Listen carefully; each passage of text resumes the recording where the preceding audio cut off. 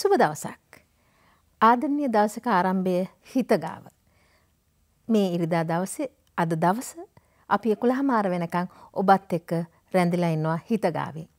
සජී පුළුවන් ඔබට අපිත් එක්ක සම්බන්ධ වෙන්න අපිත් එක කතා කරන්න කතා කරන්න පුළුවන්නම් හොඳයි. මොකද හිතගාව කියන්නේ මනෝවෛද්‍ය වැඩසටහනක් කියන එක ඔබ හොඳින්ම දන්න දෙයක්. මනෝවෛද්‍යවරෙක් සමඟ කතා කිරීම ඉතාමත්ම වැදගත් දෙයක්. මොකද අපිට යම්කිසි ප්‍රශ්නයක් ඇතුවුණොත්. අපි තනි හිතෙන් හිතලා තීරණ ගන්නට වැඩිය තව කෙනෙක් එක කතා කරලා සමහරක් විට ගන්න තීරණේ වැරදි වෙන්න පුළුවන්. ඒ නිසා මනෝවෛද්‍යවරයෙක් සමග කතා කරලා ගන්න තීරණේ හර්ම තීරණයක් බව ඔබ හොඳට මතක තියාගන්න. ඒ නිසාවෙන්ම තමයි ඔබ නිසාම මේ හිත ගා වැඩසටහන පටන් අරගෙන තියෙන්නේ. කතා කරන්න අපිට අපි ඉන්න ඔබත් එක්කම රැඳිලා. එහෙමනම් අද දවසෙත් අපි වෛද්‍යතුමා සමග ගොඩක් දේවල් කතා කරන්න බලාපොරොත්තු වෙනවා. අපේ වෛද්‍යතුමන් ඉන්නවා මන වෛද්‍යතුමන් මනෝවෛද්‍ය එන් කුමාරනායක මහතා. ආයුබෝවන් වෛද්‍යතුමනි. ඒ වගේම තමයි අපිට මනෝ උපදේශනය ලබා දෙන හැම වෙලෙම එතුමිය මේ කියන දේවල් තුළද ඇගේ තින මේ පරණත භාවයක්ත් එක්ක තමයි මේ මනෝ උපදේශනය දෙන්න. ජේෂ්ඨ මනෝ උපදේශිකාව හිර්ෂණී වීරසිංහ මහත්මිය. අයිබෝවන්. අයිබෝවන්. අද දවසේ අපි කතා කරන්න බලාපොරොත්තු වෙන දේවල් වලදී ඔබේ විවාහයේදී ඔබේ ජීවිතයේදී යම් යම් ගැටලු ඇතුණාම යම් යම් තීරණවලට අපි ජීවිතේ එළඹෙනවා. ඒ ගැන අපි කතා කරමු හිතගාවේ.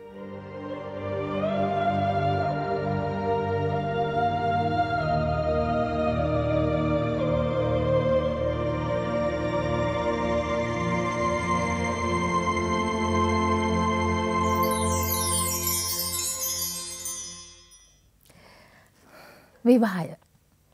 ජීවිතය ගිනියනකට වැදගත්ම දේ තමයි විවාහය. අන්තිමට විවාහ වෙනවා, දරුවෝ හදනවා, මව්වරු වෙනවා, පියවරු වෙනවා වෛද්‍යතුමනි. ඇත්තට මේ විවාහය ගැන කතා කරොත් සංස්ථාවක් සංඛ්‍යාලයකන හැටියට බැලුවොත් වෛද්‍යතුමනි 55%ක්ම විවාහ ජීවිතවල වල ප්‍රශ්න ඇති වෙනකොට දෙන්නගේ ආදරය, කරුණාව, අර කියන්නේ අපි කියන්නේ ගරුත්වය මේ සියලු දේම නැති වෙනකොට දික්කසාදේ තැනටම යනවා. ඒ කියන්නේ ඝට්ටනය කියන එක ඇති වෙනකොට මේ දික්කසාදේ තැනටම යනකොට ඔබතුමන් මනෝවෛද්‍යවරයෙක් හැටියට දකින්නේ මේක මනෝවිද්‍යාව පැත්තෙන් දකින්නේ කොයි වගේද ඇත්තටම? ඔව් නිර්මිනි. පළවෙනිම දේ තමයි අර ඔබ කිව් ඉතාත්ම වැදගත් වචනයක්. මනෝවිද්‍යාව ජීවිතයට සමීප බව. ඇත්තටම මේ මනෝවිද්‍යාවේ වැදගත්කම තමයි ඔය මම නිතරම කියන්නේ. අර ගීතයක් තියෙන ගතානුගතිකව පවතින සිරිතේ මරු කතරට වැදිලා. ඒ වූ නිර්මල ස්වර්ග රාජ්‍යයට මාගේ දේශය අවදි කරනු මැන පියාණනි. මම හිතන්නේ රවීන්ද්‍රනාත් tagore කවියක් ඇසුරින් අමරදේවයාණන් ගායනය කරනවා. මේ මිත්‍යාවෙන් එළියට ගන්න තමයි මනෝවිද්‍යාව වැදගත් වෙන්නේ. මනෝවිද්‍යාව ඒක නිසා මට මතකයි මෙතෙන්ට අප එක දරුවෙක් කිව්වා මනෝවිද්‍යාව පාඨමාලාවට නේ පන්ති කාමරේ පාඨමාලාවට ඇතුල් කරන්න එහෙම වුණොත් මේ මේ රටේ මිනිස්සු හුඟක් ලස්සන වෙයි කියලා. හොඳට හිතන්න පුළුවන් වෙයි කියලා. රයිට්. ඔබ විවාහය ගැන අහන්නේ. විවාහය කියන්නේ සංස්ථාවක්. නමුත් විවාහය එච්චර සුන්දර නෑ. අසුන්දරත් නෑ. නමුත් ඊ타ත්ම වැදගත් දෙයක් තියෙනවා අද විවාහය තුළ ඇතිවෙන පවුල හුඟක් කේන්ද්‍රිය වෙලා. ඉස්සර පවුල කේන්ද්‍රිය නෑ. ඉස්සර පවුල විස්ථාරණයක්. මාම පුංචි අම්ම නැන්ද ලොකු පවුලක් ඇතුළේ ජීවත් වෙන්නේ. මිනිසාට හුදකලාව ආතතිය ඇතිවෙන පීඩනය අවම කරගන්න හොඳ සංස්ථාවක් තිබුණා. නමුත් ඒ සංස්ථාව ගිලී ගිහිල්ලා දැන් මිනිස්සු විවාහයක් තුළ ගොඩනගා ගන්න මගේ කාර් එක, මගේ ගෙදර, තට්ටු දෙකේ ගෙදර ඈ එහෙම නැත්නම් මගේ BMW කාර් එක ඒ වයින් සතුට වෙනවා මම හිතලා ඉස්සර මිනිස්සු ඊට වැඩිය ගැඹුරු මම දැක්කම සමහර විද්‍යාඥ මාග්‍රට් මීට් කියන විද්‍යාඥ කියලා ඉස්සර පවුල මේට වැඩිය සතුටෙන් හිටියේ ඒ විවාහය නැමැති සංස්ථාව විස්තරණ පවුලක් බවට පත් වූ නිසායි කියලා. ඒ කියන්නේ තොරණක් බලන්න ගියත් කට්ටිය සේරම එකතු වෙලා යන්නේ. නන්ද මාම සීයලා සේරම. මගුල් ගෙදර ගියත් එහෙමයි. ගෙදර පොල්ලතු අපි බඳිනවයි කියලා කවුරුත් එකතු වෙලා කරේ. අපූර්ව සාමූහික සතුටක් තිබුණා. ඒක ගිලිහීගෙන යනවා. දැන් මම විවාහය පිළිබඳ ගැටලු විශාල සංඛ්‍යාවක් බලලා තියෙනවා. මොකද මගේ ළඟට එනවා දික්කසාද ඔන්න මෙන්න වෙන්න තියෙන ජෝඩු විශාල සංඛ්‍යාවක් මම දැකලා තියෙනවා. මං කියන්නම් ඔබට මගේ ප්‍රායෝගික අත්දැකීම් වලින් ඇයි මේ විවාහය හුඟක් අසාර්ථක වෙන්නේ. හැබැයි මෙතෙන්දි වැදගත් දෙයක් කියන්න ඕන නිර්මිනි. විවාහය විවාහ වෙන්න අවශ්‍යම කියලා දෙයක් නැහැ. ඒක ඔබේ කැමැත්ත. නේ? නමුත් හුඟක් වෙලාවට අපේ සංස්කෘතික බලපෑම නිසා කෙනෙක් විවාහ වෙන්නේ කෙනෙක්ගේ කැමැත්ත නිසා. දැන් මේ ළඟට මට තරුණියෙක් කියනවා තරුණියක් කියනවා ඇයට මානසික අවපීඩනයට ගොදුරු වෙලා ජීවිතේ කලකිරිලා ඇයගේ වයස අවුරුදු 32යි. ඇය හොඳ රැකියාවක් කරන රාජ්‍ය ආයතනයක. ඇයි ඇය මේ පීඩනයට ලක් වෙලා තියෙන්නේ? කට්ටිය හම්බුනාම ඔයා කවදද බඳින්නේ? ඇත්තම ඇය ඉතින් මේක කල්පනා කළා මේක ලොකු පීඩනයක් වෙලා අන්තිමේදී ඇය මානසික අවපීඩනයට යනවා. මම ඔබට කියන්නම් මේ කතාවෙන් කිසිම වැරදි අවබෝධයක් ගන්න එපා. විවාහය කියන්නේ අවශ්‍ය දෙයක් කියලා. අවශ්‍යම දෙයක් කියලා නෑ. ඔබට අවශ්‍ය නම් විවාහ වෙන්න. විවාහ වෙලත් සතුටෙන් අය ඉන්නවා. විවාහ වෙන්නේ නැතුවත් සතුටෙන් ඉන්න අය ඉන්නවා. විවාහ වෙලා අසතුටෙන් අය ඉන්නවා. විවාහ වෙන්නේ නැතුව අනේ මට විවාහ වෙන්න බැරි වුණා කියලා හිතන කල්පනා කරන අයත් ඉන්නවා. මම දැක්ක මෙන්න මේ ඊටම වැදගත් මනෝවිද්‍යාත්මක කරුණු කීපයක් විවාහය ගැන. විවාහයක් සාර්ථක කරගන්න බැරි වීමට හේතු වෙන එකක් තමයි කමිට්මන්ට්. ඒකට කැපවීමක් තියෙනවා. යම් කැපවීමක් නැත්තම් මේක මොකද දෙන්නෙක් එකට ඉන්න ඕන කියලා කොහෙවත් ලියලා නැහැ නිල්මිනි. නමුත් දෙන්නෙක් එකට ඉන්නවා කියන සම්පූර්ණ අදහස් විවිධ අදහස් තියෙන දෙන්නෙක්. මේ ඔබ විශ්වාස කරන සමහර අය කියනවනේ මේ අදහස් ගැලපෙන්න ඕන කියන විවාහ වෙන්න මහ පල් පල් පට්ට බොරුවක් ඒක. කිසිම සත් මේ ලෝකෙ කිසිම දෙන්නෙක් අදහස් වලින් සමාන වෙන්නේ නැහැ. මම නෙවෙයි ඔබ ඔබ නෙවෙයි මම. human personality is unique. එතන නෙවෙයි මම කියන්නේ කැපවීමක්. මම සරල උදාහරණයක් කියන්නම්. මගේ ළඟට එනවා අපි හිතමු නිර්මලා කියලා. නිර්මලා එනවා ඇගේ ස්වාමියත් එක්ක ගෙදර නිතරම රණ්ඩු. නිර්මලා මෙහෙම කියනවා. මං එක උදාහරණයක් කියන්නම් ඩොක්ටර්. මට බබෙක් ඉන්නවා අවුරුදු දෙකයි. බබා හොඳටම සනීප නැති වුණා දවසක්. උදේ පාන්දර කැස්ස හැම්බිරිසාව. ඉතින් මම කිව්වා මගේ හස්බන්ඩ්ට ඇය බොහෝ බැංකුවක වැඩ කරන්නේ. මං කිව්වා මාත් එක්ක එන්න උදේට බෙහෙත් ගන්න යන බබාට හොඳට මාන අමාරුයි. අනේ ඔයා හාෆ් ඩේ එකක් දාලා එන්න. ඔහු කියනවා අපෝ බෑ මට අද බැංකුවේ හරියට වැඩ. මං ඔයාට ත්‍රිවිල කියන්න සල්ලි දෙන්න. ඔයා ගිහලා බෙහෙත් අරගෙන එන්න. නිර්මලා කියන කිසිම හැඟීමක් නැහැ. මගේ මං මෙච්චර වැඩ කරනවා කියලා හැඟීමක් නැහැ. මගේ දරුවා කියලාවත් හැඟීමක් නැහැ. එයාට ගාණක් නැහැ. එයා කියනවා මම බැංකුවට යන්නම්. මට වැඩ තියෙනවා. ඔයා ට්‍රීවිල් එකේ ගිහලා බබාට බෙහෙත් තරම් දෙන්න. එතකොට නිර්මලා අම්මගෙන් අහනවා ඇයි ඉතින් මම මේ වගේ මිනිහෙක් එක්ක ඉන්නේ? ඔන්න මේ වගේ මේක තමයි ඔන්න එක කැපවීම තියෙන්න ඕන යම් ආකාරයක නේ යම් ආකාරයක. දෙවැනි කරුණ තමයි sannivedanaya. sannivedanaya කියන්නේ දෙන්නෙක් එකතු කරන පාලමක් වගේ. හරියට sannivedanaya නැත්තම් ඕනම sannivedanaya කියන්නේ විශාල ජයග්‍රහණයක් ඕනම ශේෂ්ත්‍රයක. ඊවන් ඔබගේ ඔබගේ රැකියාවේ ඔබ සාර්ථක පුච්චලෙක් වෙන්න නම් ඔබ මේ sannivedanaya රහස් ඉගෙන ගන්න ඕන. මොකද්ද මේ sannivedanaya කියන්නේ? මම ඔබට කියන්නම් උදාහරණයක්. මගේ ළඟට එන කාන්තාවක් අපි හිතමු අය සුජී සුජීවා කියලා. සුජීවා ඔහුගේ ස්වාමියාත් එක්ක. සුජීවා කියනවා මගේ ස්වාමියා හමුදාවේ වැඩ කරන්නේ. ඔහු වෙන්නේ මාසෙකට සැරයයි ගෙදර. මට ළමයි දෙන්නෙක් ඉන්නවා. මම ළමයි දෙන්න බලාගෙන ඉන්නේ. හරිම මහන්සි ජීවිතයක් ડોක්ටර් මමත් ටීචර් කෙනෙක්. මම මගේ ස්වාමියා එනකම් මම බලාගෙන ඉන්නේ මාසේ අන්තිමට අන්තිම සතිය මොහු එනව නේද කියලා. ඔහු ආවට පස්සේ මාත් එක්ක වචන දෙකක් කතා කරන්නේ නැහැ. ඔහු ෆෝඩ් එකේ ඉන්නවා දවසෙම. එහෙම නැත්නම් ටීවී එක ඉස්සරහට වෙලා ඉන්නවා. මං කියනවා අනේ එන්නකෝ ඔයා විනාඩි 10ක්වත් මාත් එක්ක කතා කරන්න. ඉතින් ඊට පස්සේ ඔහු යාළුවොත් එක්ක සෙට් වෙන්න කියලා ගෙදරින් යනවලු. අර සතිය එන ඇවිල්ලා නිවාඩු දවස් 4 5 ගත කරන්නේ මේ විදියට. ඉතින් මොකද්ද මේ සුජී වහන ප්‍රශ්නේ? සුජී වහනෝ මොකක්ද මේ ජීවිතය ඩොක්ටර් මිනිහ බැඳගෙන? මම තනියම හිටියනම් මට මේට වැඩි හොඳයි ඉන්නේ මම පුංචි කාලේ මේට වැඩි සතුටින් හිටියනේ මම අම්මත් තාත්තත් එක්ක කතා කරානේ සින්දු කිව්වනේ අපි ඒකට සෙල්ලම් කරානේ ඉතින් මම මෙයත් එක්ක කතා කරන්නම් මෙයාලා පස්සෙන් ගිහලා වඳින්න ඕන. මෙයාට ගාණක් නැහැ sannivedanaya. ඔබට sannivedanaya වැදගත්ම ලක්ෂණය තමයි නිල්බිනි ඇවුම්කන් දීම active listening. ඔබට යම් පුච්චලයකට පුච්චලයක් වචන වචන 100ක් කතා කරනකොට ඔබ වචන 10ක් කතා කළා. ඔබ ආදරයෙන් සහ හැඟීමෙන් ඔහුට කෝ ඇයට ඇහුම්කන් දෙනවා නම් හුඟා ප්‍රශ්න වලින් 170ක්ම නැති වෙලා යනවා කියලා මනෝවිද්‍යාඥයෝ කියනවා. ඔන්න මං ඔය කිව්වේ ඒක තමයි එක. තුන්වෙනි කරුණ තමයි වැදගත්ම තේ ආදරය. අර බර්ටන් රසල් දාර්ශනිකය කියන මම මේ ඉස්සෙල්ලා කියලා තියෙනවා ආදරයට බියැත්තෝ ප්‍රේමයට බියැත්තෝ ජීවිතයට බියය. ජීවිතයට බියැත්තෝ නොමල මලා උන්නය. බර්ටන් රසල් කියනවා දැන් ආදරයක් ඇතුලේදී ලබන්න පුළුවන් තෘප්තිය ලිංගිකත්වය විතරක් නෙවෙයි කියලා.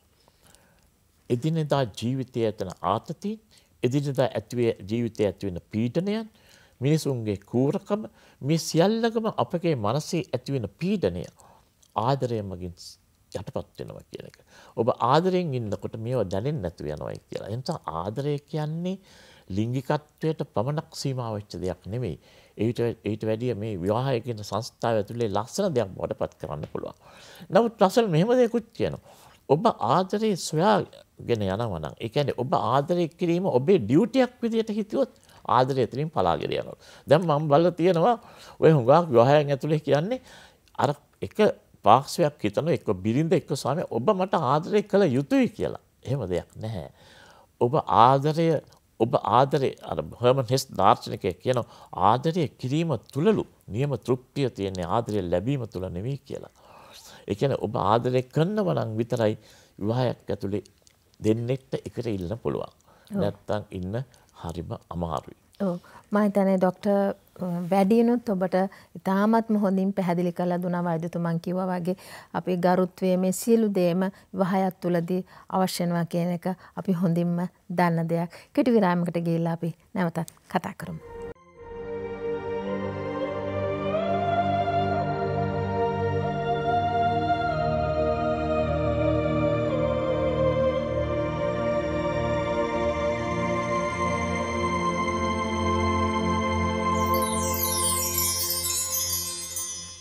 විරාමයට යන්න පෙර අපි කතා කරගටේ විවාහය ගැන. අපි කොතකුත් හිතගාවි මේ ගැන කතා කරලා තියෙනවා. අපිත් එක රැඳිලා ඉන්න ඔහොමම සජීව අපි මැදිරියට කෙනෙක් ගෙනල්ලා ඉන්නවා. ඇය සමගත් අපි කතා කරන්න බලාපොරොත්තු වෙනවා. ඒ වගේම උපදේශිකාව හිර්ෂණී මහත්මිය දැන් මේ වෛද්‍යතුමන් කියවේ අපි ආගෙන හිටියා. විවාහය. එතකොට වෛද්‍යතුමන්කවක් ගරුත්වය මේ සියලු දේම අපේ ඉවසීම හැම දෙයක්ම මේ තුලදී අවශ්‍ය වෙනවා. හැබැයි අර කිව්වා වගේ ඕන්නම් කැමති නම් විවාහ නොවී ඉන්නත් පුළුවන්. විවාහ නොවී ඉන්න කෙනෙකුට කාලයක් යනකොට මානසික ආතතිය හැදෙන්නත් පුළුවන්. අර වෛද්‍යතුමන් කිව්වා ඇයි විවාහ වුනේ නැත්තේ මොකද ඔයා තාමත් ඉන්නේ කියලා. ඔබතුමිගේ මට අහන්න ඕනම දෙයක් තමයි මේ මේ ගැටනත් සමග මානසික ආතතිය හැදෙන්න පුළුවන්. ඒ වගේම විවාහ නොවී ඉන්නකොට දැන් සමහරක් කෙනෙක් අවුරුදු 20 ගණන් වලද 29 විතර වෙනකම් විවාහ නොවී හිටියට පස්සේ අවුරුදු 30 දී විවාහ වෙන්න අකමැත්තක් එනව නේද ඇත්තටම කාලයක් යනකොට. ඔව්. එහෙම දෙයක්ත් වෙනවා. ඒක ඇත්ත. ඔබ කියපු දේ හරි. මම ඒ ඒ ඔබ කියපු කතා සහ හැමදේමත් එක්කම එකතු කරලා කියන්න. මානසික ආතතිය මානසික ආතතිය කොහොමද මේ අපිට බලපාන්නේ කියලා විවාහ නොවුනත් විවාහ ජීවිතේත් මේ දෙපැත්තෙන්ම ගත්තොත් හරි. මෙහෙමයි. දැන් ඇත්තටම මම ඉස්සෙල්ලම මට දෙයක් කියන්න ඕනේ ඉල්මිනි මෙතනදී මේ ආතතිය කියන දේ ගැන දැන් අපි කතා කරනවානේ. මේ ආතතිය ආවම හරි අමාරුයි. අපිට අපහසුවක් දැනෙනවා. මේක ජීවිතේට හරි කරදරයක්. නිකන් වචනයක් විදිහට කතා කරනවා. අපි කතා කරනවා. හැබැයි මේ ආතතිය කියන දේ මනෝවිද්‍යාවේ කියනවා යම් පුද්ගලයෙක්ට යම් තාදුරට අවශ්‍ය දෙයක් කියලා. මොකද ආතතිය අපිට සම්පූර්ණයෙන්ම අතහැරලා දාන්න පුළුවන් දෙයක්ුත් නෙවෙයි. දැන් උදාහරණයකට හිතන්නකෝ. දරුවෙක්ට විභාගයක් තියෙනවා නම් ඒ දරුවට ආතතිය ආවම තමයි දරුවෙක් මහන්සි වෙන්නේ. පාඩම් කරන්න. මට මේකට මම විභාගෙට මුහුණ දෙන්න ඕනේ. මම හොඳ සමාර්ථයක් ගන්න ඕනේ කියන දේ දැනෙන්නේ. ඊට පස්සේ අපි දකිනවා ආතතියත් එක්ක දරුවෙක් යම් පළවෙනි දවසේ දෙවෙනි දවසේ විභාගයට මුහුණ දුන්නම අර ආතතිය කෙමින් කෙමින් කෙමින් අඩු වෙලා යනවා. මේ මේ ඒ වගේ තමයි ආතතිය. දැන් ඒ කියන්නේ ඒක ජීවිතේට යම්තා දුරට අපිට යම් දෙයක් කරන්න සාර්ථක ගමනකට යන්නත් මේක අවශ්‍ය වෙන සාධකයක්. හැබැයි ඒ වගේම සමහර වෙලාවට මේක පෞල් ජීවිතය ගත්තොත් නිර්මිනි පෞල් ජීවිතය තුළට ගොඩක් වෙලාවට මේ ආතතිය කියන කාරණේ ආවම අපිට වෙන්නේ අපිට මේක අඳුරගන්න බැරිවීම සහ මේක හරිය හරියට හරි හැටි මේ කලමනාකරණය කරගන්න අපිට ටිකක් අපහසු වෙනවා. අන්න ඔය කලමනාකරණය කරගන්න අපහසු වුණාම තමයි ගොඩක් වෙලාවට දෙන්නෙක් අතර ඔබ අර ඉස්සෙල්ලා කිව්වා වගේ ගැටණයක් ඇති වෙන්න බලන්නේ. ඒ වගේම අර ඔබ ඉස්සෙල්ලා කිව්වා වගේ දැන් අපේ සමාජෙ මම දැකලා තියෙනවා බොහෝ දුරට මේ හරිය ප්‍රශ්නනේ අපේ මිනිසුන්ට විවාහ නොවී ඉන්නකොට ඇයි විවාහ වෙන්නේ නැත්තේ? විවාහ වුණාට පස්සේ අහනවා ළමයෙක් හදන්නේ නැද්ද? පළවෙනි ළමයා හම්බුනාම අහනවා දෙවෙනි ළමයා දැන් හදන්නේ කවද්ද? ඒ වගේ ලොකු ප්‍රශ්න ගොඩක් තමයි අපි ඉන්නේ. ඉතින් ඒවට මුහුණ දෙන්න ගියාම ඊට වඩා අපහසුයිනේ. ඉතින් මෙහෙම ගත්තම විවාහ ජීවිතය තුළ ගොඩාක් වෙලාට දෙන්නෙක්ගේ මේ මානසික ආතතිය නිසා දෙන්නෙක් ඇතුලේ ඇතිවෙන ගැටලු වැඩි. විශේෂයෙන්ම අපි ආදරය කරනකොට අපි හිතනවානේ මේ මගේ ස්වාමියා මාත් එක්ක මෙහෙම ආදරෙන් ඉන්න ඕනේ, මගේ බිරිඳ මට මෙහෙම ලං වෙන්න ඕනේ, මං ගැන හොයලා බලන්න ඕනේ. ඒ වගේ අපේ තියෙන අර බලාපොරොත්තු ගොන්නක් මැද්දේනේ අපි විවාහයකට යන්නේ. අර මට මතක් වෙනවා එහෙම කියනකොට අර මේ නන්දාමාලි මහත්මියගේ ලස්සන ගීතයක් තියෙනවා මේ පෙම්ලොව දුටු ඔහුමද මේ ඔහුටද මාසිත අන්ධ වුනේ යෞවනයේදී දුටු ඔහුමද මේ ඔහුටද මාසිත අන්ධ වුනේ කියලා. ඒ කියන්නේ අපි ආදරය කරනකොට බලාපොරොත්තු වෙන කිසිම දෙයක් මේ ගොඩක් වෙලාට අර විවාහය තුළදී අපිට දකින්න නැති වුණාම අපි ගොඩක් වෙලාට ආතතියට යන්න පුළුවන්. ඉතින් මේකට මේ මම සරල උදාහරණයක් විදිහට ගත්තොත් මගේ ළඟට වැඩි දවස් නැහැ දවස් දෙකක් ඇති දැනට ඌ දවස් දෙකකට විතර වගේ කලින් එක්තරා විවාහ යුවලක් එනවා ඒ ස්වාමි පුරුෂයා මං හිතන්නේ මෘදුකාංග ඉංජිනේරුවෙක් බිරිඳ මාත් එක්ක කියනවා මගේ හස්බන්ඩ් ගොඩාක් බිසි හරිම හරිම කාර්යබහුලයි සමහරලාට උදේ 6:00ට ගෙදර ගියාම රෑ 8ට විතර 8:00 වෙන ඔහු ගෙදර එනකොට. මම දරුවෝ දෙන්නත් එක්ක ගෙදර තනියම ඉන්නේ. ඒ ආවත් ඔහු කරන්නේ වොෂ් එකක් දාගෙන මේ පරිගණක ඉස්සරහට වෙලා පරිගණකයත් එක්ක පැය දෙකමාරක් විතර ඉන්නවා. ඊට පස්සේ රෑට තව පැය එකමාරක් විතර ටීවී බලනවා. ඊට පස්සේ ඔහුට මහන්සි.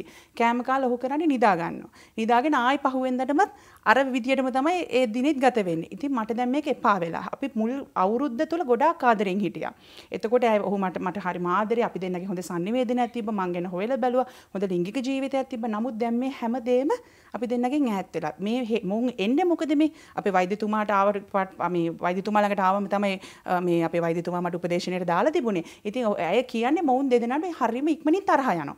දෙන්නට දෙන්නම රුස්සන්න. ගෙදර කෑ ගහන පොඩි දරුවෝ දෙන්නෙක් ඉන්නවා. අවුරුදු 5ක සහ අවුරුදු 7ක දරුවෝ දෙන්නෙක් ඉන්නවා. ඉතින් මේ දරුවෝ දෙන්නත් දැඩි පීඩාවක ඉන්නේ මේ ප්‍රශ්න නිසා. ඉතින් මේක කතා කරනකොට දැන් මොවුන්ගේ මම හොයාගෙන යනකොට මට දෙනුනේ දෙන්නම ලොකු ආතතියක ඉන්නවා. ලිංගික ජීවිතේ එපා වෙලා ගොඩක් කේන්ති යනවා. දෙන්නටම දෙන්නට දෙන්න රුස්සන්නේ නැහැ. කිසිම sannivedanayak නැහැ. අඩු ගානේ දරුවොත් එක්ක පොඩ්ඩක් කතා කරන්න වෙලාවක් හැංගීම් බෙදා ගන්නවත් වෙලාවක් නැහැ අම්මයිටයි තාත්තටයි. මෙහෙම තමයි අපිට දැන් මේ වෙලා තියෙන්නේ. ඉතින් අර එතන හැංගිලා තියෙන දේ තමයි ආතතිය. ඉතින් ඒක අපි අඳුරගන්නේ නැතිව අපි ගොඩාක් වෙලාවට කරන්නේ සමහරලාට මේ ප්‍රශ්න දිගටම ගිහලා දික්කසාදේ වෙනකන් යනකොලුත් අපි දන්නේ නැහැ. ඒක තමයි ප්‍රධාන බෙද. අනිත් එක අපි කරන තව වැරද්දක් තියෙනවා නිර්මිනි. මොකද්ද මේ ගොඩාක් වෙලාවට මෙහෙම දෙයක් ගේ ඇතුලේ වුණාම අපි මේ වෙන වෙන අර ෂෝට් කට් හොයාගන්නවනේ මේ ආතතිය අඩු කරගන්නේ මොනවද ෂෝට් කට්? මත්පැන් බොනවා, මේ සිගරට් බොනවා. ඕවෙන් තමයි අපි ආතතිය රිලීස් කරගන්න හදන්නේ. හැබැයි ඔබට දැනෙනවා නම් ඔබ දෙන්න වෙනදට වඩා රුස්සන්නේ නැත්තම් තරහ යනවා නම් ලිංගික ජීවිතේ තෘප්තිමත් භාවයක් නැත්තම් ගෙදර ඉන්නකොට නිකන් අර අඳුරන්නේ නැති බෝඩින් කාරයෝ දෙන්නෙක් වගේ නම් ගෙදර ඉන්නේ අනිවාර්යෙන් ඔබට දෙදෙනා ඇතුලේ ප්‍රශ්නයක් තියෙනවා. ඒක ආතතිය වෙන්න පුළුවන්. හොඳම දේ එහෙම දෙයක් දැනෙනවා නම් මනෝවෛද්‍යවරයෙක් ගාවට ඇවිල්ලා ප්‍රතිකාර සහ මනෝපදේශනයට යොමු වෙන එක තමයි. ඔව්. අර ඔබතුමිය කිව්වා වගේ දැන් කෙනෙක් එයාගේ ආතතියෙන් මිදෙන්න යාරක්කු බොනවා මොන හරි දෙයක් මත්පැන් වලට ඇබ්බැහි වෙනවා. හැබැයි ඒ වගේම තමයි කාන්තාව බිරිඳ සමහරකට නොදන්නා අයත් එක්ක මේ ගැන කතා කරන්න යෑමේදී ලොකු ලොකු ප්‍රශ්න වෙන වෙන ප්‍රශ්න වලට යන්නත් පුළුවන්. ලොකු ප්‍රශ්න වලට ඇති වෙන්න පුළුවන්. ඒ නිසා තමයි මම පටන් ගන්නකොටම කිව්වේ මනෝවෛද්‍යවරයෙක් සමග කතා කරන එක තරම් දෙයක් තවත් නැහැ කියන එක. ඇත්තටම අපි වෛද්‍යතුමනි අපි මේ සම්බන්ධයෙන් අද දිගින් දිගට මේ සම්බන්ධයෙන් කතා කරන්න හිතුවේ වැඩි දෙනාගෙම ඉල්ලීම හැටියට මොකද දික්කසාදය කියන එක තුලදී අපි හැමෝම දන්න දෙයක් අපි ජීවිතවල අත්දැකීම් වලින් දන්න දෙයක් තමයි කිසිම ගැහැණියක් මං හිතන්නේ කැමති වෙන්නේ නැහැ කාන්තාව දික්කසාද වෙන්න. මොකද බැඳගෙන කවදා හරි විවාහ වෙලා තමන්ගේ ස්වාමි පුරුෂත්වක ජීවිතය ගත කරන්න ඕන කියන තැන තමයි ඉන්නේ. ඒ වගේම තමයි ස්වාමි පුරුෂයෙකුත් දෙන්නාගෙම ආදරය කියන එක කරුණාව කියන එක ගොඩක් වැදගත් වෙනවා. අපි කෙනෙක්ව මැදිරියට ගෙනල්ලා තියෙනවා අද සජීව අපිත් එක්ක සම්බන්ධ වෙලා කතා කරන්න. වෛද්‍යතුමනේ ඇය නමින් කාංචනා කාංචනා ඇත්තටම ආයිබෝන් කියලා පිළිගන්නවා. ගොඩක් සූතිවන්ත වෙනවා මේ සම්බන්ධයෙන් කතා කරන්න ඉදිරිපත් වීම ගැනම අපිත් එක්ක. අපි කතා කරමු. දැන් අපි කියනවා කතා කරන්නේ ඔක්කොම අහගෙන හිටියනේ. දැන් ඔබතුමියට මොනවද කියන්න තියෙන්නේ ඇත්තටම? ඕ ඇත්තටම මම කාංචනා මම එන්නේ නුගේගොඩ ඉඳන් ඉතින් මම මුලින්ම වෛද්‍යතුමා ගාවට එන්න හිතන්නේ මට දැන්ට අවුරුදු තුනක පුතෙක් ඉන්නවා. ඉතින් මමයි හස්බනුයි මාස 8ක් ඒ කියන්නේ දැනට අපි දෙන්න විවාහ වෙලා අවුරුදු 4ක් වෙනවා. එතකොට මාස 8ක කාලයක් තුල අපි දෙන්න හිතමනාපකමක් ඇති කරගෙන දෙන්නම නිවෙස්වල දෙපැත්තක තමයි ජීවත් වෙන්නේ. ඒ කියන්නේ දරුවා ලැබුණාට පස්සේ දරුවා ලැබුණාට පස්සේ කියන්නේ දරුවට අවුරුදු දෙකක් වෙද්දී. ඉතින් එතකොට මුලින්ම අපි දෙන්න ඒ ගත වෙච්ච කාලය තුළ අපි දෙන්න දෙපැත්තකට වෙලා ඉන්නවා. ඉතින් අපිට පවුලේ ඇතුලේ දෙපැත්තෙන්ම කියනවා දික්කසාදකට යන්න කියලා. ඒ කියන්නේ කාංචන අවුරුදු දෙකකට පස්සේද දෙන්න වෙන වෙන්නේ ඈත් වෙන්නේ. ඔව් දරුවට අවුරුදු දෙකකට පස්සේ. දරුවට අවුරුදු දෙක වුණාට පස්සේ. දෙක වුණාට පස්සේ. ඉතින් එතකොට ගෙවල් දෙකෙන්ම අපිට බල කරනවා දැන් විවාහයක් තේරුමක් නැහැ. මොකද තනියම මම දරුවා හදාගෙන මගේ නිවසේ ඉන්නේ මගේ දෙමව්පියොත් එක්ක. ඉතින් එතකොට මම කොහොමත් පොඩි කාලේ ඉඳන් තනියෙන් මගේ වැඩ කරගත්ත කෙනෙක්. එතකොට මාව සාමාන්‍ය ව්‍යාපාරික ශාස්ත්‍රයේ ගොඩක් අය දන්නවා. එතකොට නෑදෑයෝ හිත මිතුරන් ඔක්කොම දන්නවා. ඉතින් අපි ලොකුවට විවාහ උත්සවයක් ගන්නවා. ඒ කියන්නේ මුදලින් ගත්තොත් ලක්ෂ 70ක් විතර වියදම් කරලා තමයි අපි විවාහ උත්සවයක් ගන්නෙ. ඉතින් එතකොට ලංකාවේ දැවැන්ත චරිත ලංකාවේ හැම කෙනාම අපේ විවාහ උත්සවයට සම්බන්ධ වෙනවා. ඉතින් එතනින් පටන් ගත්ත ජීවිතේ කැලලක් ඇති වෙලා ඒ වගේ වෙන්වීමක් වුණාම ඉතින් අපිට ගෙවල් දෙකෙන්ම කිව්වා දැන් මේ විවාහ ජීවිතේ ඉන්න එපා. තේරුමක් නැහැ. ඔයගොල්ලෝ දෙපැත්තකට වෙන්න කියලා. නමුත් එක දවසක් අපේ හස්බන්ඩ් මට කතා කරලා නැවත කතා කරාම මට දරුවෙක් ඉන්නවා මම හස්බන්ඩ් එක්ක ආපු දුරක් තියෙනවා. එතකොට ඒක දන්නේ මම. ඉතින් එතකොට අපි දෙන්න කතා කරනවා අපි දෙන්නගේ ප්‍රශ්නයක් තියෙනවා නම් අපි දෙන්නගේ ගැටලුවක් තියෙනවා නම් අපි දෙන්නට යන්න හොඳම තැන තමයි මනෝවෛද්‍ය ප්‍රතිකාරවලට යොමු වෙන එක තමයි අපි දෙන්න කරන්න ඕන හොඳම දේ. ඉස්සෙල්ලා අපිට වැරදුනේ කොතනද කියලා අපි හරි තැනකට ගිහිල්ලා හොයාගමු කියලා. කොතනද ඇත්තටම කාංචනා වැරදුනේ? ඇයි මේ ස්වාමියත් එක්ක ඉන්න ජීවිතේ එපා වුනේ? ඇත්තටම කියන්නේ අපි අවුරුදු 7ක් මම ප්‍රේම සම්බන්ධතාවයක් තියාගෙන තමයි විවාහයට යන්නේ. එතකොට සාමාන්‍යයෙන් මම කෙලිලොල් දඟකාර ජීවිතයක් ගත කරේ. ඒ කියන්නේ මට මගේ පෞද්ගලික ජීවිතේට නැති දෙයක් නැති වුණා. ඒ කියන්නේ තාත්තා මට හැමදේම වගේ මගේ ජීවිතේ ලබා දීලා තිබ්බා. එතකොට මට දෙයක් දිනා ගන්න ඕන වුණාම මම සාමාන්‍යයෙන් ඒ ඉලක්කයට ගිය කෙනෙක්. ඉතින් මට නොලැබීම් ඉදිරියේ දේවල් නැතිවීම ඉදිරියේ දරා ගැනීමේ ශක්තියක් මට තිබ්බේ නැහැ. ඒක මම පොඩි කාලේ ඉඳන් පුරුදු වෙලා තිබ්බ දෙයක්ුත් නෙමෙයි. ඒ වගේම අපේ තාත්තා ව්‍යාපාරික ක්ෂේත්‍රයේ හිටපු කෙනෙක් හැටියට එයාට ගොඩක් සමාජ අවබෝධය තියෙනවා සමාජශීලී. එතකොට අපේ ගෙවල් වලට නිතරම ගොඩක් මිනිස්සු අපේ ගෙවල් වලට එනවා. එතකොට තාත්තා ඒගොල්ලන්ගේ ප්‍රශ්න විසඳනවා. ඉතින් එතකොට මට මට ප්‍රශ්නයක් තාත්තට කොහොමද කියන්නේ සහ මගේ ප්‍රශ්නයක් කොහොමද කෙනෙක්ට ප්‍රසිද්ධ කරන්න කියන තැන මම පොඩ්ඩක් ප්‍රශ්නක හිටියා. මොකක්ද ඔබට ආපු ලොකුම ප්‍රශ්නේ විවාහය තුළ? ලොකු ස්වාමියගෙන් ඔබට නොලැබුණේ මොකක්ද? නොලැබුණේ අපි අවුරුදු 7ක් ආදරෙන් ඉන්නකොට ගොඩක් ආදරේ කරා.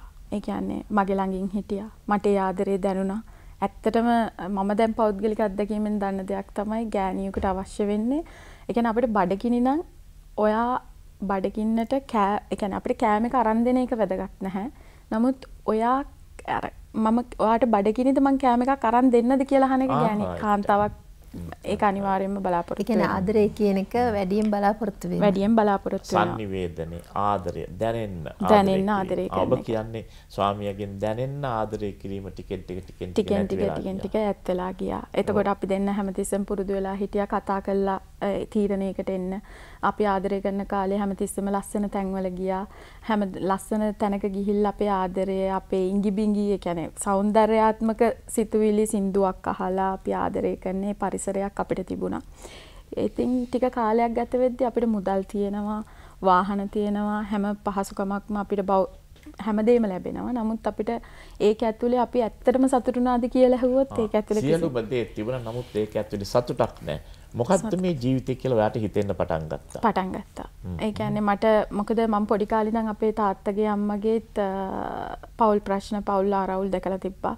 ඉතින් මම තීරණයක් ගත්තා කවද හරි දවසක මම බඳින කෙනත් එක්ක ඊටාම සහයෝගයෙන් දෙන්නට දෙන්න උදව් උපකාර කරගෙන මැරෙනකන් ඒ ඒත් එක්ක ජීවිත ගමන යනවා කියන තැන මම හිටියා. මොකද මේ ප්‍රශ්න මම ගොඩක් දුරට දැකලා තිබ්බා මගේ ජීවිතේ.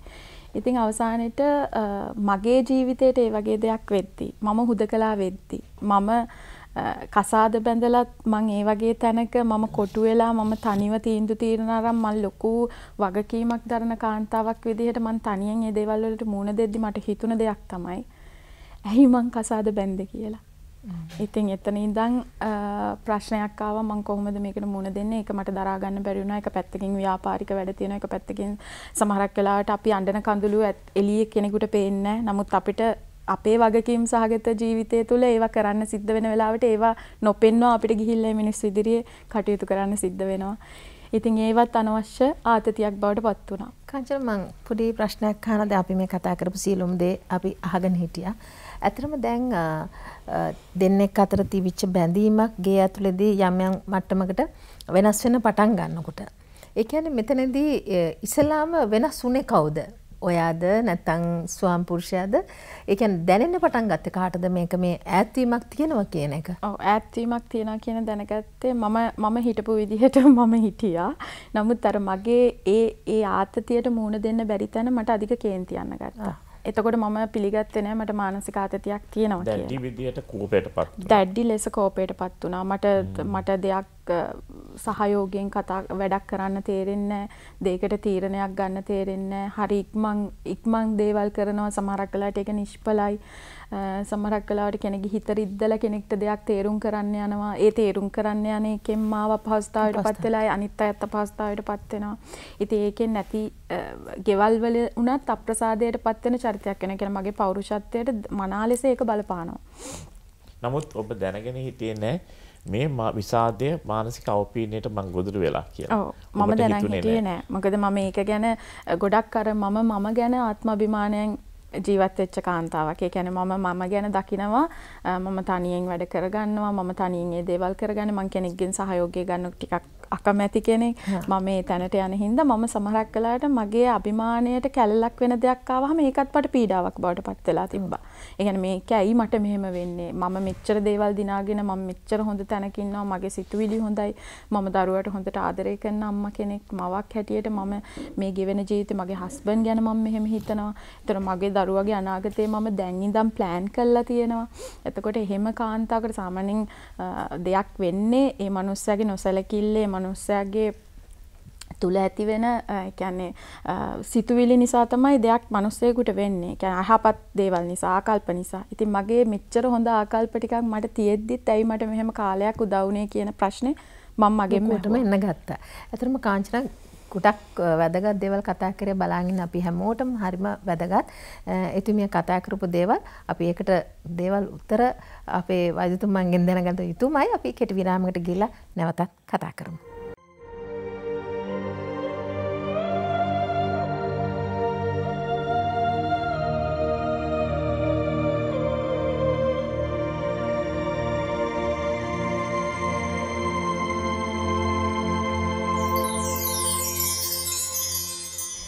ඇගේ කතාව ඔබේ කතාව වෙන්න පුළුවන්. ඔබ හිතන විදිහම වෙන්න පුළුවන් මේ කාංචනා හිතලා තියෙන. හැබැයි හිතුවට ඔබ තනි තීරණ වලට යන්න එපා. කාංචනා තනි තීරණ වලට ගිහිල්ලා නැවතත් යථා තත්ත්වයට ජීවිතේ පත් කරගෙන තියෙනවා. තවත් මේ ගැන මොන හරි කියන්න තියෙනවද අපිට? ඔව් මම ආසයි ආන කාංචනා ඊට පස්සේ දැන් දෙන්නට දෙන්න එපා වුණා. ඈත් වුණා. ඔයා දැඩි මානසික පීඩනයට කියලා ජීවිතේ කලකිරුණා එපා වුණා. තරහා යන්න පටන් ගත්තා. ඔයාගේ ලිංගික ජීවිතයට මොකද වුනේ? ඔව් ඇත්තටම කියනවා ලිංගික ජීවිතෙත් ආදරය කරන කාලේ අපි එකපාරට ලිංගිකත් ඒ කියන්නේ අපි එකපාරට ලිංගිකව එක්වීමකදී අපි හිතපු දෙයක් තමයි අර ආදරය නිසා අපිට ඒක ඉබේට එතනදී අපි කෙනත් එක්ක අපි අපේ ස්වාමිපුරුෂයත් එක්ක අපි ආදරේ බෙදාගෙන තමයි එතෙන්ට ගියේ.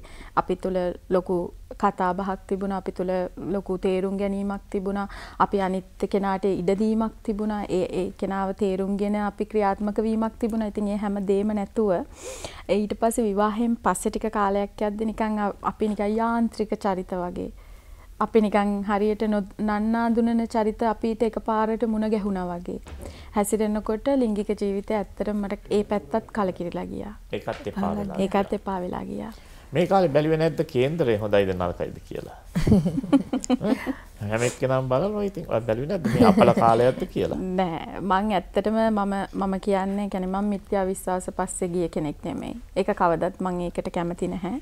අනිත් එක මං එහෙම නොහිතපු එක ගැන මං සතුටු වෙනවා. මොකද මං මේ මිත්‍යා විශ්වාසවල ඉන්නේ නැතුව මම හරිම තැනකට පළවෙනි වතාවට මගේ වාසනාව හරි මං කළා තියෙන මගේ පෙර පිනක් නිසා හරි මම වෛද්‍යතුමන් වෙත යොමු වෙලා මම මනෝවෛද්‍ය උපදේශනයේ ඔක්කොමත් එක්ක මගේ මගේ ජීවිතය සාර්ථක කරගෙන අද මම සතුටින් hina වෙලා මෙතන ඉන්න එක ගැන මට ලොකු සතුටක් තියෙනවා. මම සමහර විට මිත්‍යා විශ්වාසත් එක්ක ජීවත් වුණා නම් මට එතෙන්ට යන්න බෑ. මම අනිත් කෙනාට ඉඩ දීලා අනිත් අය කියන දේවල් පස්සේ ගියා නම් මට ඒ දේවල් කරන්න බෑ. මම අද මේ ඉන්න සාර්ථකත්වය මගේ ව්‍යාපාර ගොඩනගාගෙන මගේ දරුවා රැක බලාගෙන මගේ ස්වාමිපුරුෂයත් එක්ක නැවත අත්වැල් බැඳගෙන මේ යන ගමන මට කවදාවත් යන්න බෑ. මම පළවෙනි වතාවට මම හොඳ තැනකට ගිහිල්ලා හොඳම දේ මට ලැබුණා. මොකද ඒක සමහරක් වෙලාවට මගේ දෙමව්පියන්ට දෙන්න බෑ. මොකද අපිට ප්‍රශ්නයක් තියෙනකොට හැම වෙලාවකදීම දෙමව්පියෝ වුණත් ඒ ප්‍රශ්න දිහා බලන හැක් තියෙනවා. ඒක වෙනස් වෙන්න පුළුවන්. නමුත් වෛද්‍යතුමාට පෞද්ගලිකව ලොකු මනාවක් තියෙනවා. මම දැකලා තියෙනවා වෛද්‍යතුමන් ගාවට ගොඩක් පිරිසක් එනවා. ඒ හැම තැනකදීම වෛද්‍යතුමා කියන්නේ ඉන්නම බැරි නම් වෛද්‍යතුමා ගාව විසඳුමක් තියෙන වැරෙන්නට ගොඩක් වෙලාවට උත්සාහ කරනවා පවුලක් එකතු කරන්න සහ ඒගොල්ලන්ට දැනට ඇති වෙලා තියෙන මානසික ප්‍රශ්නේ තේරුම් අරගෙන ඒකට හොඳම විසඳුමක් ලබා දෙන්න පුළුවන් කෙනෙක් තමයි ඇත්තටම අපි ළඟට ආවා. ආපු කාංචනා මම දැක්ක පළවෙනි දේ තමයි විසාදය කියන මානසික තත්ත්වයට ගොදු වෙලා. ජීවිතේ එපා වෙලා කලකිරිලා නිින්ද යන්නේ නැහැ. හරියට තරහ යනවා. අපි දැක්ක විසාදය. ඕන කෙනෙක් නිල්මිනේ දැඩි පීඩනයක කාලයක් හිටියොත් විසාදයට යනවා. ලෝක සෞඛ්‍ය සංවිධානයේ කියන ලෝකයේ අද බහුලව තියෙන දෙවණියට දක්වන ලැබෙන අසනීපයේ විසාදයලු. ඔබ දුක් විඳින්න බැරන්නේ විසාදය. මේ ඔබේ නරක කාලය නෙමෙයි. මොලේ රසායනික වෙනසකින් විසාදය එන්නේ. දැන් කාංචනා දැඩි පීඩනයකට යනවා තමන්ගේ ස්වාමියාත් එක්ක ඇති වෙන ගැටලු වලදී. අන්තිමේදී විසාදය. ඇයට ප්‍රතිකාර පටන් ගත්ත මම. ප්‍රතිකාර පටන් ගත්තම ඇය කියනවා ඇයට සිතා ගන්න බෑ. තරහා යන ඒවා සේරම නැති වෙලා ගියාලු. ජීවිතයට ආසාව ඇති වුණාලු. මිනිසුත් එක්ක ජීවත් වෙන්න මිනිසුත් එක්ක කතා කරන්න ආසාව ඇති වුණාලු.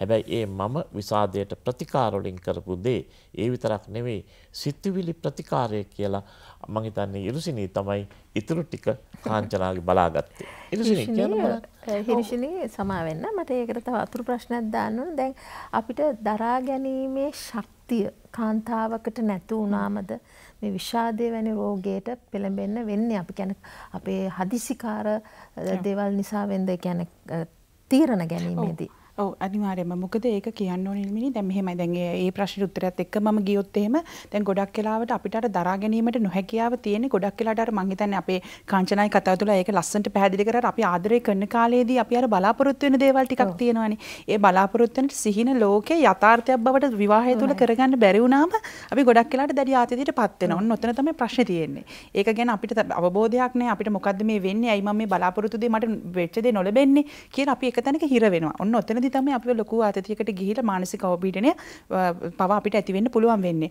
මං කාංචනාගේ පැත්තට හැරුණොත් මං හිතන්නේ මට තාමත් මතකයි ඇය සහ ඇගේ ස්වාමි පුරුෂයා ඇවිල්ලා මාව හම්බ වෙච්ච දවසේ ඇත්තටම මට කතා කරනකොට ඔවුන් දෙදෙනා තුළ දැක්කපු දෙයක් තමයි මේ මේක තන ගැටලුවකට එහා ඔවුන් දෙදෙනාටම තුළ හරිම ආදරයක් තිබුණා. හැබැයි ආදරේ තිබුණට මොකක්ද මන්ද ඔවුන් දෙදෙනාට අඳුරා ගන්න බැරි සමහර දේවල් මේ කාලේ යනකොට වෙච්ච ප්‍රශ්නත් එක්ක තමයි ඈත්වීමක් කර ඒතන ලොකු ගැප් එකක් තිබුණේ. නැත්තම් දෙන්නම ආදරේ දෙන්නටම පවුල රැක ගන්න ඕනේ. හැමෝම කියනවා දික්කසාද වෙන්න කියලා. හැබැයි ඒ දෙන්නට මේකට අවශ්‍යතාවයක් තිබුණේ නැහැ. ඉතින් මෙහෙම යනකොට මුලින්ම කියන්න ඕනේ මම ඔවුන් දෙදෙනාගේ මම දැකපු ලොකුම අඩුපාඩුවක් තිබුණා. ආදරය කරනකොට ওই දෙන්න කොච්චර අර ඉස්සලයි කිව්වා වගේ ඉඟි පිඟි පාලා කොච්චර ආදරය කරත් ආදර වදන් තෙපළුවත් සේරම වුණත් විවාහ ජීවිතය තුළ කාලයක් යනකොට මේ sannivedanaya කියන එක අපි කියනවා communication ගොඩාක් ඈත් වෙලා තිබ්බා. අපිට තියෙන ලොකුම ප්‍රශ්නයක් තමයි නිල්මිනි මම මොකද පෞල් උපදේශනය කරන නිසා මම හොඳටම දන්නවා ෆැමිලි කවුන්සලින් වලදී ගොඩාක් වෙලාවට විවාහ වෙච්ච දෙන්නෙක්ගෙන් ඇහුවොත් ඔබ දෙදෙනාගේ ජීවිතේ sannivedanaya කොහොමද කියලා ඔව් අපි කතා කරනවා අවුලක් නැහැ. ඉතින් අවශ්‍ය දේ කතා වෙනවා එහෙමයි. නමුත් කවදාවත් දෙන්නට අර අයි කන්ටැක්ට් එක තියාගෙන පොඩ්ඩක් ලං වෙලා අපි කියන චුට ආදරෙන් ඉන්නවා කියලා අපි ලව් කරන කාලේ අර කතාවක් තියෙනවනේ මේ පන්සලේදී හම්බුනත් වැළඳ ගන්නවා කියලා එහෙමනේ කියන්නේ සමහරලාට. නමුත් අර ගෙරක් වෙලාවට මේ ගෙදරදී අර මේ ගෙවල් ඈත් වෙලා යනවා. කිසිම ආදරණීය බවක් නැහැ. ආදරණීය කතා බහක් නැහැ. හැංගීම් බෙදා ගන්න වෙලාවක් නැහැ. ඉතින් ඒක නිසා ඉස්සෙල්ලම මම ඇති කරේ උන් දෙදෙනාගේ කමියුනිකේෂන් එක sannivedana කුසලතා වැඩි දියුණු කරපු එක. ඒ වගේම තමයි දෙවනියට මම දැකපු දෙයක් අර CBT එහෙම නැත්නම් අපි කියන cognitive therapy එක යටතේ. දැන් අපේ වෛද්‍යතුමා ඉස්සෙල්ලා කිව්වා සිතුවිලි ප්‍රතිකාර ක්‍රමය. මොකද මම දැක්ක අර දැඩිව දැනිලා තිබිච්ච ආතතියත් එක්ක දෙන්නා තුලම සමහර ඍණාත්මක සිතිවිලි තිබුණා. අර ගොඩක් කරලා මම පොඩි උදාහරණයක් කියන්නම්. අර අපි කියනවා මිල්මිනි මේ ගොඩක් කරලා අර අපි බලාපොරොත්තු වෙනවා අර දැන් ඔයා මං වගේ වෙන්න ඕනේ. ඇයි ඔයාට මං වගේ වෙන්න බැරි කියලා අපි දෙන්නම හිතනවා. අර අපි දෙන්න එක්කෙනෙක් කියලා හිතන්නේ කියලානේ ආදරය කරන කාලේ කියන්නේ. නමුත් මේක මනෝවිද්‍යාවේ හැටියට බොරුවක්. එහෙමක් නෙවෙයි. එහෙම වෙන්නේ නැහැ කවදාවත් මොකද මේ දෙනස්ම දෙන්නේ. වෙනස් වූ ස්කීමාස් කියලා අපි මේකට කියන්නේ දිගු කාලන මතක පරිපත. ඒ කියන්නේ වෙනස් වූ පරිසරයක හැදිලා වැඩිලා වෙනස් වෙනස් වූ අම්මලා තාත්තගේ යටතේ ඉඳලා අධ්‍යාපන රටාව සමාජ ක්‍රමය චාරිත්‍ර වාරිත්‍ර ජාතිය මේ හැමදේම වෙනස් වෙච්ච දෙන්නෙක් මේකට එකතු වෙන්නේ. එතකොට ඉතින් ගොඩක් වෙලාවට දෙන්නෙක් දෙවිදියට හිතනවා. ඉතින් මෙතනදි මං අර ඒ ඔවුන් දෙදෙනාගේම දැකලා තිබිච්ච ඒ තිබිච්ච මේ ඍණාත්මක සිතිවිලි ගොඩක් වෙලාවට අයින් කරා මේ කොග්නිටිව් තෙරපි එක හරහා. එතනදී අපි ගොඩක් වෙලාවට කියන්නේ යම් සිද්ධියක් දෙන්නෙක් අතර වුණත් ඒක දිහා නිවැරදිව දකින්නේ කොහොමද කියලා තමයි එතනදී අපි මනස හදාන්නේ මනෝවිද්‍යාත්මකව. ඒ වගේම තමයි සෙක්ස් තෙරපි. මුන් දෙදෙනාට ගොඩක් ලිංගික ජීවිතයේ විශේෂයෙන්ම කාංචනට ලැබෙනකොට මේ ලිංගික ආශාව අඩු වෙලා තිබුණා. මොකද ඒක අපි දන්නවා මානසික අවපීඩනය තියෙන කෙනෙක්ට එන ලක්ෂණයක්. ඉතින් ඒ ඒක ඒ ඒ ගැටලුවට ගොඩක් වෙලාට සෙක්ස් තෙරපි අපි කියනවා සෙන්සේට් ෆෝකස් සෙක්ස් තෙරපි කියලා මාස්ටර් ජොන්සන්ස් කියන ලෝක බිහිවෙච්ච මේ හොඳම මනෝ චිකිත්සක ප්‍රතිකාර ක්‍රමවලට හිටපු මනෝවිද්‍යාඥයන් දෙදෙනෙක් උන් දෙදෙනාගේ සෙන්සේට් ෆෝකස් සෙක්ස් තෙරපි කියන ඒ ප්‍රතිකාර ක්‍රමය හරහා උන් දෙදෙනාගේ මම ඒ දේවලුත් වෙනස් කරා. ඒ වගේම තමයි මෙතනදී තව දෙයක් මම කියන්න ඕනේ මේ සෙක්ස් කමියුනිකේෂන් කියන එක නිල්මිනි. ගොඩාක් වෙලාවට අපේ ලංකාවේ තුල මේ සෙක්ස් කමියුනිකේෂන් හරිම අඩුයි. අපි කියනවා මේ දෙදෙනා අතර තියෙන ලිංගික sannivedana. අර නිකන් දැන් ඇය කිව්වා හොඳට නිකන් මැෂින් එකක් වගේ වුණා. අන්තිමට ඒ කාර්යයට විතරයි අපි නිකන් යන්නේ. ඒක කිසිම හැඟීමක් අපි බෙදා ගන්න මේක හරි ප්‍රශ්නයක්. ඔබ ලිංගිකව නිකන් එකතු වෙලා බිරිඳ හෝ සැමියා සතුටු කරා කියලා අපි හිතුවට අපි කොහොමද දන්නේ ඇත්තටම එයා සතුටු වෙලාද කියලා? මේ ගැන කතා කරන්න ඕනේ. මොකද මං හිතන්නේ බිරිඳ සහ සැමියා ඇරෙන්න වෙන දෙන්නෙක් ඉන්නවා කියලා මේක ගැන විවෘතව කතා කරන්න. ඉතින් එතනදී ලිංගික sannivedana ඔබට දැනිච්ච විදි ආස දේවල් මේ ගැන හොඳින් කතා කරලා මෙන්න මේ වගේ දේවල් ඔක්කොම මේ මේ ප්‍රතිකාර ක්‍රම මන අවිද්‍යාවට නොගිහින් විද්‍යාත්මක කරුණු පාවිච්චි කළා තමයි මං හිතන්නේ ඇය සහ ඇගේ ස්වාමියා අද සතුටින් ඉන්නේ. ඔව් ඇත්තටම මේ වෛද්‍යතුමනි හිරුෂිනි අර ගත්ත තැනකින් මම එක තැනකදී මම හරිම කැමති ඔය මේ ඇස් දෙක දිහා බලාගෙන කතා කිරීම දෙන්නේ අහක බලාගෙන කතා කරන තු අයි කොන්ටැක්ස් හොඳටම තියාගෙන කතා බහ කිරීමේදී වටිනාකමක් තියෙනවා.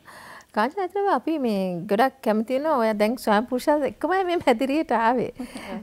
ගොඩක් මම දැක්ක එතුමන් හොඳට hina වෙලා ඉන්න ඔයා කියනවට hina වෙනවා. ඇත්තටම මං හිතන්නේ මේ වෛද්‍යතුමන්ගේ තියෙන හැකියාව නිසා වෙන්න ඕන දෙන්න දැන් hina වෙලා මේ වගේ හොඳට ඉන්නේ. මොනවද අපිට අවසාන වශයෙන් කියන්න තියෙන්නේ? ඔව් ඇත්තටම මට කියන්න තියෙන්නේ මං වගේ මේ වගේ දේවල් වලට මුහුණ දෙන මීටත් වඩා ගැටලු සහගත තත්ත්වයන් වලට මුහුණ දෙන අය මේ රටේ මේ ලෝකයේ හැම තැනම ඇති. නමුත් මම කියන්නේ ප්‍රශ්නයක් වුණාම Taman තනියෙන් ඒවට විසඳුම් හොයන්න යන්න එපා.